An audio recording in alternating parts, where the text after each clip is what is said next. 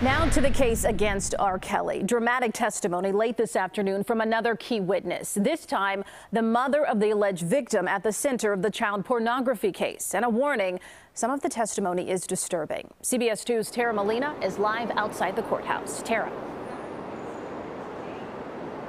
Erica, this woman is going by Susan, and she's the mother of the pivotal witness in this case, Jane testifying here today. She denied knowing anything was going on, any sexual relationship between her then 14 year old daughter and Kelly when Jane started spending more and more time with him. Again, we want to warn you, some of this could be disturbing.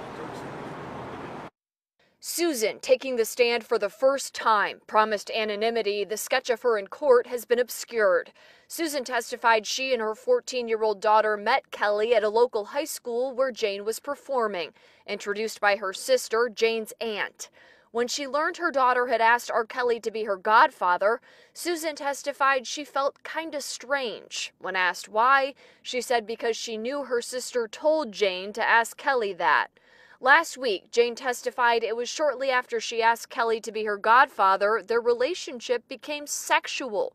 Susan said her daughter started going to Kelly's house a lot with his wife and kids, mostly on the weekends. When asked what she believed Jane was doing at the house, Susan said movies, shopping, hanging out with the kids. Prosecutors say Jane and her parents were paid and threatened by Kelly and his team so they wouldn't testify at the 2008 trial.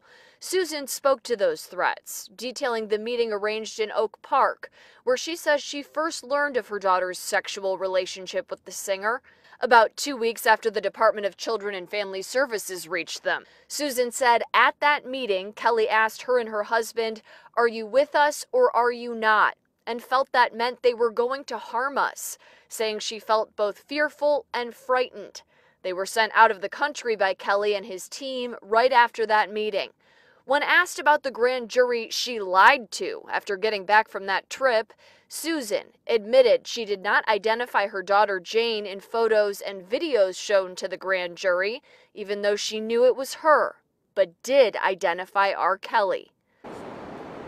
In cross examination, Kelly's lead attorney asked Susan about a number of visits she made alone to Kelly's recording studio after meeting him, directly asking her about an intimate relationship she had with Kelly. Susan denied that intimate relationship and said she was making those visits to talk about business and get advice from Kelly.